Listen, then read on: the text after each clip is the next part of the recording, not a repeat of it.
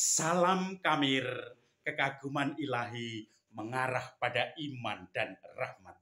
Saudara-saudari yang terkasih, beberapa hari ini Kamir libur karena saya mengurusi ibu untuk minta pulang dari rumah sakit dan minta pulang ke rumah ke Jogja karena sudah kangen setelah satu setengah bulan itu eh, meninggalkan rumah. Maka sekarang tinggal kenangannya adalah jepit rambutnya ibu karena ibu sudah dipotong pendek oleh seorang umat atau beberapa umat yang membantu memotong dan kemudian sudah kelihatan seger.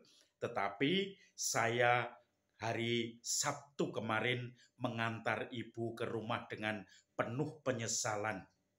Karena saya kurang sabar dalam melayani ibu.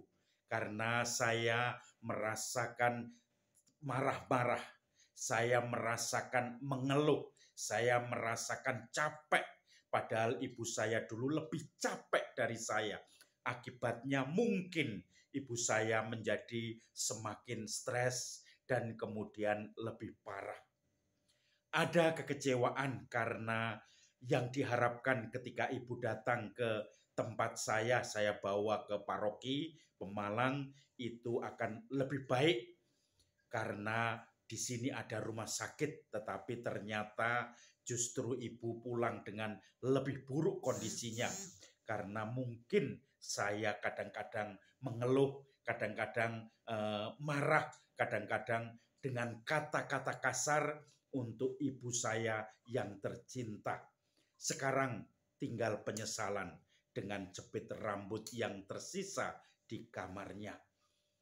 Kemarin saya balik ke sini dari Sabtu dari Jogja mengejar eh, hari Minggu mengejar waktu untuk misa sore di stasi tetapi saya juga merasa dalam eh, kebingungan bagaimana saya justru memperparah ibu saya bagaimana ibu kok pulang sekarang dengan anaknya saja tidak ingat tidak bisa jalan sama sekali, maka saya menjadikan rasa penyesalan ini menggelanyuti hati saya dalam perjalanan pulang untuk kembali ke paroki saya ini. Sekarang mungkin tinggal penyesalan, tetapi juga ada kepasrahan, ada pengharapan, karena saya berharap Tuhan senantiasa menjamah ibu saya. Saudara-saudari yang terkasih, hari ini gereja memperingati pesta uh, peringatan Santa Agatha, seorang yang sudah sejak masa mudanya bergaul kemurnian, mempersembahkan hidupnya pada Tuhan. Dan Injil hari ini, Injil harian bicara tentang Yesus yang berkeliling ke kampung-kampung dan setiap kali ada orang mendengar dia datang, maka orang berbondong-bondong membawa orang-orang yang lumpuh di atas tilam membawa orang yang sakit digendong, membawa orang banyak datang pada Yesus untuk disembuhkan. Bahkan hanya sekedar menjamah jumbai jubahnya bisa disembuhkan. Kontradiksi dalam hati saya. Ibu saya tidak sembuh tetapi masa malah semakin parah. Tetapi Yesus saat ini Injilnya penuh kegembiraan membuat orang-orang yang sakit disembuhkan. Kekontrasan ini kadang membuat saya merasakan kebingungan bagaimana ibu saya memang yuswonya usia sudah 80 tahun, tidak membaik juga. Saya ikut andil di dalam membuat ibu saya mungkin semakin parah. Pernah saya ajak ke Cirebon seharian dan ibu saya mungkin kecapean di situ pulang kemudian tensi sampai 170 dan itu awal di mana ibu saya makan kemudian mulai jatuh-jatuh nasinya dan uh, apa bibirnya mulai perot lagi. Ketika saya sendiri sekarang saya mulai merefleksikan itu. Mungkin peran saya yang membuat ibu saya semakin parah. Tetapi sekarang saya tinggal dan nanti kalau memang ibu saya mau ikut saya lagi, saya akan membawanya dan mungkin lebih baik untuk merawatnya. Sesal kemudian tidak berguna. Kalau bisa diperbaiki, saya sangat berharap. Tetapi ibu sekarang dengan anak-anaknya pun sudah lupa. Dan ini yang membuat saya merasa maskul, merasa tidak tenang. Saudara-saudari yang terkasih,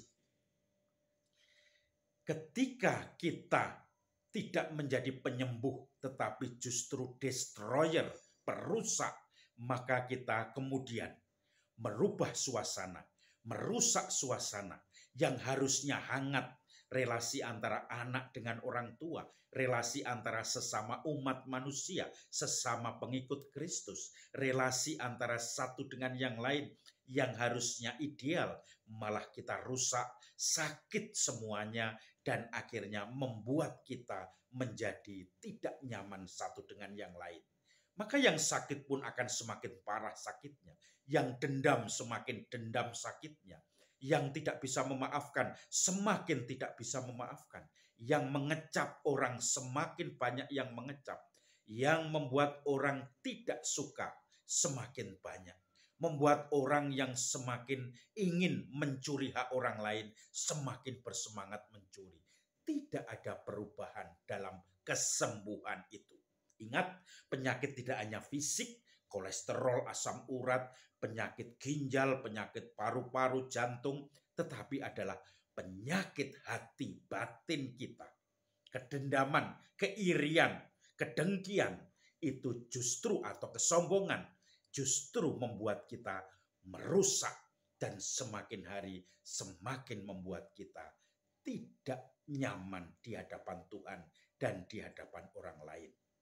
Maka saudara-saudari yang terkasih, waktunya sekarang kita bersama-sama bertimpuh di hadapan Tuhan. Bersujud, mohon disembuhkan, mohon diampuni, karena di situ kita menemukan sumber kerahiman, sumber kesembuhan, sumber pengharapan, yaitu Kristus sendiri. Tidak heran banyak orang berbondong-bondong kepada Yesus untuk disembuhkan. Bahkan menjamah jumbai jubahnya saja dilakoni, dilakukan dengan iman akan disembuhkan. Mari kita bersama-sama mohon disembuhkan, dikekuatkan dalam setiap permasalahan.